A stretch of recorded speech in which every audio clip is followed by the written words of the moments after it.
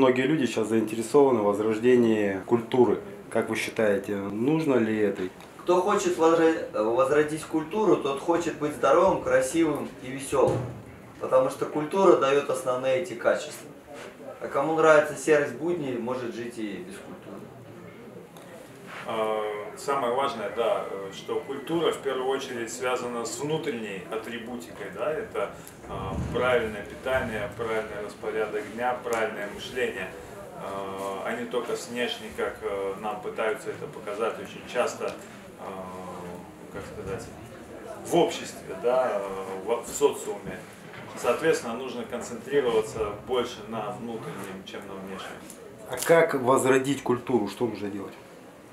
Чтобы возродить культуру, первое, что надо сделать, чтобы в каждом городе появились славянские вечерки, на которых люди разучивают танцы, игры, хороводы, песни. Это запускает первоначальный импульс живы, жизненной радости, жизненной силы. И когда уже люди растанцевались, расхороводились, в молодецких забавах поучаствовали, им надо уже глубже копать, изучать язык, традиции, обряды.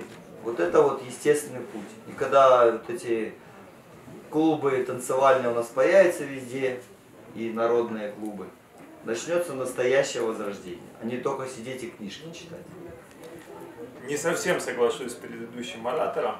А, дело в том, что можно, конечно, плясать, можно танцевать, но до тех пор, пока у нас внутри отравленный мир, да, и э, мы пьем грязную воду, там, э, думаем плохие мысли в связи с тем, что у нас есть куча страхов, каких-то ограничений с раннего детства от наших родителей, да, которые пережили войну, которые пережили там э, репрессии, дедушки с бабушками революции. Соответственно, если мы эти страхи не убираем, ни о какой э, чистоте сознания мы не можем говорить. Все будет внешней атрибутикой, оно будет просто поддерживаться на каком-то уровне.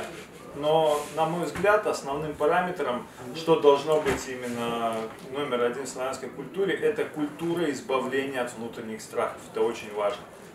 То есть это э, то, что делал, допустим, товарищ э, Сталин, да, это массовые прыжки с парашютом, да, это большое количество э, людей, которые уезжали там в Сибирь, отрывались от маминой сиськи, да, и ехали строить там БАМы, ехали строить какие-то великие э, сооружения, они менялись сознанием, они преодолевали свои страхи, то есть должна быть культура преодоления страхов. На нее потом наложится то, о чем говорит Иван Царевич, это э, будет естественно. Пока нет культуры побеждения страхов, э, внешняя культура, она носит атрибутический символ. Но мать Тереза говорила, не против э, войны, а за мир. Не против избавления от страхов, а за радость. Фокус внимания очень важен. А, то есть лучше фокусироваться на а, играх, радостях на, и на вот этой позитивной нотке. Это очень важно, тоже мой жизненный опыт показывает. У страха что противоположно? Любовь. Нет любви, есть страх. Да? Есть любовь, нет страха. Все согласны с этим? Просто? Да. И вот культура народная, это и есть культура любви. То есть вы же знаете, что наши предки, они были в любовных отношениях очень развиты, согласны? То есть и более теплые отношения, любовь. Заметьте, вот как мужчина и женщина друг друга называли. Ладушка, свет моей души, да? Свет моих очей, соколик ты мой. А сейчас медвежонок ты мой, зайчик. Это что это? Деградация на лицо. Вот. И наши предки, которые именно развивали именно культуру любви, ключевая тема. И вот этой любовью освещали все страхи, конечно же. Поэтому в народной культуре есть и такие обряды крещения, это очищение от страхов, от боли. Вот. Потом даже танцы, когда ты танцуешь, из тебя вытряхивается боль. Боль, она же как? Которая внутри находится, в душе там или где-то еще, в тонких структурах. Эта боль всегда проявляется как мышечный зажим. Все согласны? То есть мышечный зажим. А когда ты танцуешь, у тебя вот протряхиваются мышцы, зажим уходит. И с ней уходит и боль, и страх. Поэтому культура любви – это есть народная культура. Через танцы, игры, хороводы происходит очень сильное исцеление, в том числе и от страхов. Но вот эта тема, что Олег поднял, она очень важная, действительно, потому что наследство от прошлого каждому вот из нас, даже и нам двоим, досталась куча страхов. Да. И вот э, действительно сейчас вот настал момент заглянуть в глубины своего вот этого подсознания, потому что эти страхи затаились, нам кажется, что их нету, а они есть, да? Как в анекдоте. Что надо ну, в глубину вот эту копнуть и страхи эти достать и просветить их любовью. Только так начнется правильное развитие. Здесь просто есть очень интересный момент, то, что ты сказала, а, заключается это момент в том, что а, каждый человек, когда он проходит определенное психическое состояние, у него есть точка невозврата. Так вот, приближаясь к этой точке невозврата, у каждого увеличивается желание дать заднюю. Да, то есть у нас ум, он инертен, он защищает то, как мы думаем.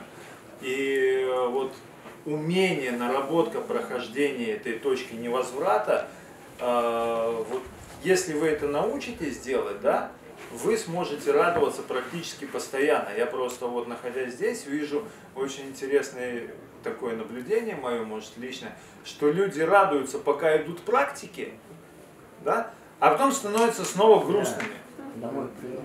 И это очень часто, ну то есть это очень большого количества людей я наблюдаю, это очень большая проблема. Потому что если ты там радовался, ну ты должен в обычном состоянии радоваться, ну чуть меньше, но все равно радоваться.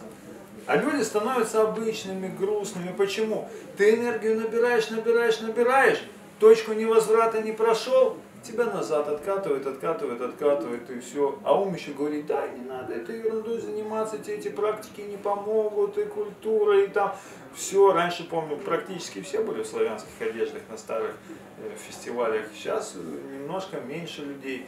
Вот, э, то есть почему? Идет из-за вот этой точки разочарования. И вот ваше умение проходить это, это, вот, это высший пилотаж. Я не говорю, что это единственный путь.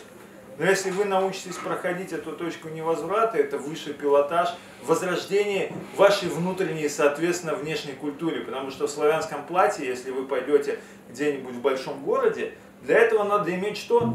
Смелость. Когда на тебя пальцем показывают, правда? Они не показывают, они смотрят, кстати, очень. И посылают кучу позитива и любви. Что да? такое В последнее время очень доброжелательно смотрят. С интересом я часто езжу, ну, потому что занимаюсь проводами. И я обратила внимание, что раньше так вот, а последний вот год уже прям очень позитивно смотрят. Ну вот, меняется, не зря. Вот исходя из этого следующий вопрос. Как нам возрождать культуру нашу? Вот сейчас такая интересная ситуация, что с 2012 года такая волна пошла мощная.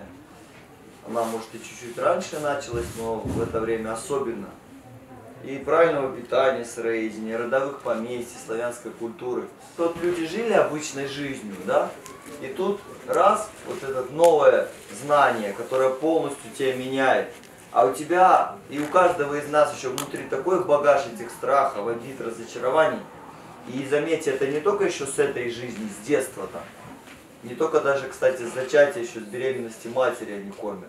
Да? Э, копятся, а еще с прошлой жизни. И вот этот вот груз недоработанных вещей, ты когда с этим грузом входишь, хоть в сыроедение, хоть в родовое поместье, хоть вообще в любое движение, ты в нем разочаруешься, потому что этот груз тебя бах и вниз опять тянет. Поэтому вот этот вопрос очищения, то, что Анастасия говорила, чистота помыслов, чистота души. Как говорится, многие слышали звон, да не знаю, где он. Если не ту пару выбрал, то в городе еще кое-как можно жить, а в поместье это очень сильно показывается, та или не та. Ну, то есть там более сильно, на земле все более сильно. Энергия природы. Если да. ты в городе был косяковый человек, а ты в родовое поместье приехал, а твоя косяковость еще в 10 раз усилилась. Конечно, тебе жить, ты разочаровался в идее родовых поместий, потому что ты ничего не понял. Ну, ты не созрел, да, тема? Поэтому вот эта именно тема со- созревания, совершеннолетия, самодержавие, все на «с». И когда ты уже самодержавный такой человек, созревший, ты вот вступаешь в любую идею, и в ней есть целостность. И у тебя получается. И с сыроедением получится, есть такие люди. И с родовыми поместьями получится, есть такие люди. И с народной культурой славянской все получится. Как возрождать культуру? Э, сам механизм возрождения это что? Культура это не насилие, мы должны это четко понимать. Да? Наша культура, славянская культура, э, она какая? Она кайфовая, она классная, она радостная, да, она, это культура чего? Это культура создания радости. Что такое культура? Это повторяющийся механизм создания радости. Это когда человек живет и наслаждается. Но от чего мы не можем наслаждаться вот по точке невозврата? Что такое точка невозврата? Очень многие люди не умеют наслаждаться от перемен. Почему? Потому что ум привык себя считать каким-то, да, жить в каком-то мире. Почему я говорю ум? Это набор программ у нас в голове. Да? И когда мы, эгей, классно, давайте строить родовые поместья, но когда ты понимаешь, что ради родового поместья придется там продать свою квартиру в городе, возможно, да, поменять... Выучите деревья, справочник, ландшафтный дизайн изучить. Да, то есть учиться тебе надо будет. Да. Тебе придется поменять там свой какой-нибудь, я не знаю, Lexus на какой-нибудь УАЗик, потому что у тебя в поместье машины нету. Да, то есть механизм, Вон, люди из-за стекол высматривают. Пустим их? да, открывайте, механизм Откройте. изменения болезненный. С чем его сравнить? Вот в Сочи есть скайпарк, Тарзанка, 210 метров над пропастью. Вот ты выходишь, и пока тебя не застегнули, и ты туда не подошел, тебе нормально, ты улыбаешься, все хорошо, классно, давайте прыгать, все классно. Но как только ты встал туда, это пипец. Все, все твое нутро, все твои страхи, мамы, бабушки, прабабушки, там, все начинают у тебя в голове визжать, что тебя будут соскребать с вот этих вот камней, которые там внизу. Они тебе показывают картинки, кто это будет делать, как это будут делать, да? То же самое происходит с нами каждый раз, когда мы решаем безвозвратно поменять свою жизнь. Каждый раз.